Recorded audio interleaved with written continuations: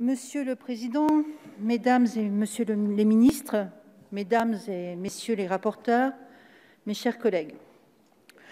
le projet de loi dont nous démarrons aujourd'hui l'examen en séance publique devrait nous conduire à avoir des débats riches et respectueux, à l'image de ce qu'ils ont pu être en commission. En effet, sur les différents thèmes qui seront abordés, chaque député ici présent avoir sa propre lecture des enjeux sociétaux soulevés par ce texte. Mais nul ne saurait être dans l'affirmation d'une vérité absolue. Ainsi, à la suite des États généraux de la bioéthique, de nos diverses lectures et échanges sur ces sujets, des séminaires proposés par le gouvernement, des nombreuses auditions et du travail de la commission, au fur et à mesure des différentes questions soulevées, nous avons pu être confortés dans nos opinions premières sur certains sujets, revoir nos points de vue sur d'autres, ou encore appréhender des questions sur des points particuliers qui ne nous avaient pas apparu de nature à soulever de grands débats à la lecture du projet de loi. Concernant le titre 1, visant à élargir l'accès aux technologies disponibles en matière de procréation, nous saluons le réel travail de co-construction entre le gouvernement et les députés. Le projet de loi qui nous a été soumis apportait en effet des réponses peu satisfaisantes sur de nombreux sujets, et les questions soulevées par les députés ont permis aux rapporteurs de travailler avec le Gouvernement à des propositions plus cohérentes et plus intelligibles. Ainsi, concernant l'extension de l'AMP à toutes les femmes, une des craintes qui s'exprimait était celle d'une pénurie de gamètes, d'autant que la levée de l'anonymat à la majorité des enfants nés de dons peut dissuader, au moins temporairement, les donneurs. Sur ce point, le calendrier de mise en œuvre communiqué en audition par le Gouvernement prévoit de permettre l'utilisation actuelle du stock dans les conditions actuelles d'anonymat de manière transitoire avant d'intégrer les dons futurs dans une base de recueil des consentements qui aura été solidement constituée. Ce décalage dans le temps ne contreviendra pas toutefois au droit fait aux enfants d'accéder à leurs origines à leur majorité.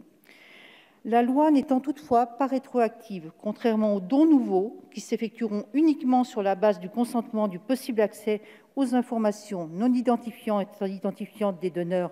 à la majorité de la personne née d'un don, le consentement du donneur dans le cas des dons antérieurs à la loi sera recherché lors de la demande d'accès des majeurs par une commission d'accès aux données nouvellement créée.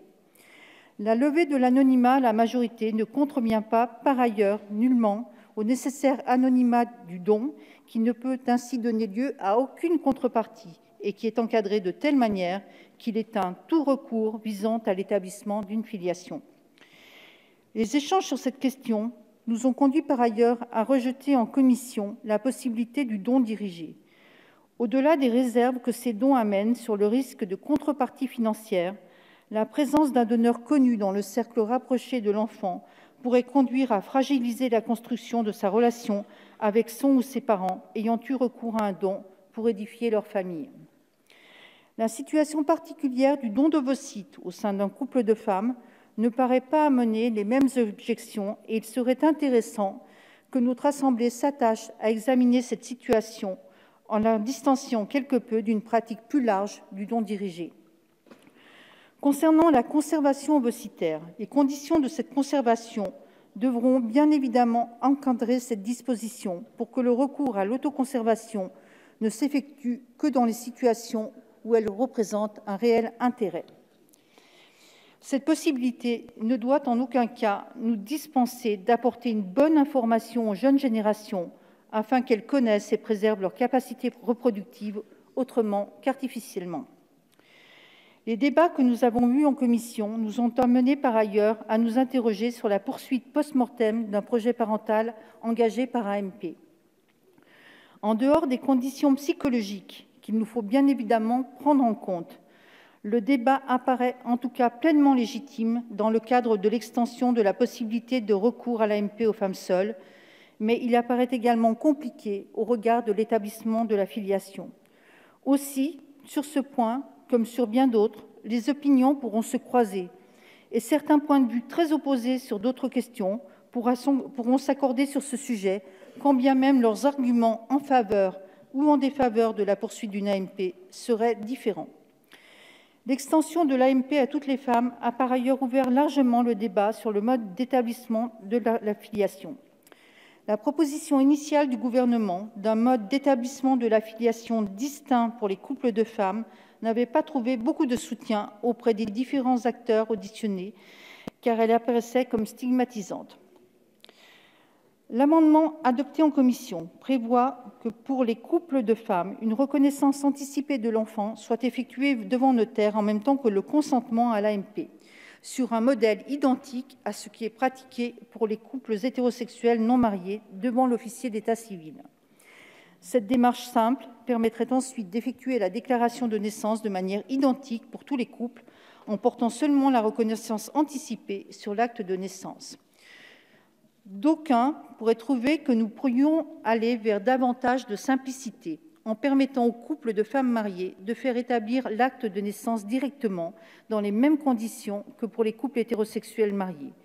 Mais dans l'état actuel de notre droit, basé sur la vraisemblance biologique, une telle disposition ne serait pas protectrice pour la mère qui n'accouche pas. La proposition qui nous est soumise aujourd'hui sur ce point paraît donc très satisfaisante au regard de l'extension de l'accès à l'AMP pour toutes les femmes, car elle est simple et cohérente, sans remise en question du droit actuel. Toute réforme approfondie de notre code civil ne pouvant se concevoir que dans le cadre d'un projet de loi spécifique nécessitant un examen sur le temps long. Mon groupe formulera d'autres observations et propositions sur les autres titres de ce projet de loi, qui seront détaillés tout à l'heure. Mesdames, messieurs, mes chers collègues, la sérénité des travaux en commission a permis d'aboutir à des évolutions importantes. Si les opinions peuvent parfois être multiples sur la levée de l'anonymat des donneurs, sur l'AMP, sur la recherche, entre autres, le groupe du Mouvement démocrate et apparenté entend bien que cette sérénité se perpétue dans les débats qui s'ouvrent en séance pour que, chacun des articles,